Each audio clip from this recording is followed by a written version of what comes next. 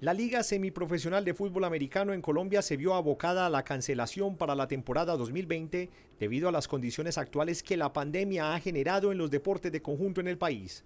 La cancelación del Torneo Nacional de Fútbol Americano temporada 2020 es un hecho que veníamos analizando todos los asociados aproximadamente desde finales de mayo y que dada la situación actual de la pandemia a nivel mundial, ya que nuestro deporte es de contacto, era el resultado más probable.